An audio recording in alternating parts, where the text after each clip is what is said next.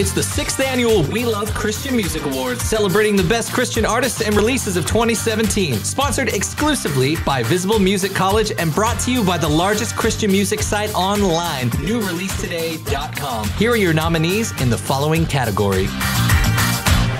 The Soul Vibe Award, Gospel Album of the Year.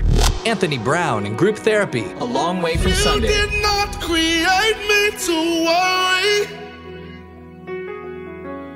You did not create me to fear.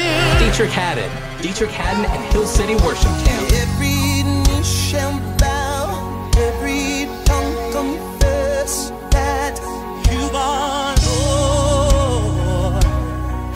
Marvin Sapp, Close. I just believe that I must be close to what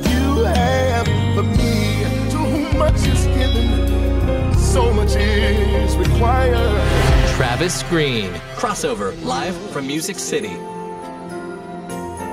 Waiting for me, just for me. Tye Tribbett, The Bloody Win. I've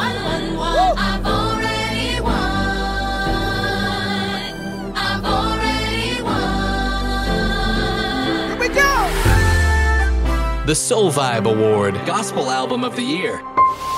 Voting for the sixth annual We Love Christian Music Awards is now open through Friday, January 26, 2018. Your votes will determine the winners. Vote now at WeLoveAwards.com. The We Love Christian Music Awards, brought to you by the largest Christian music site online, NewReleaseToday.com, and sponsored exclusively by Visible Music College. The sixth annual We Love Christian Music Awards. Vote now.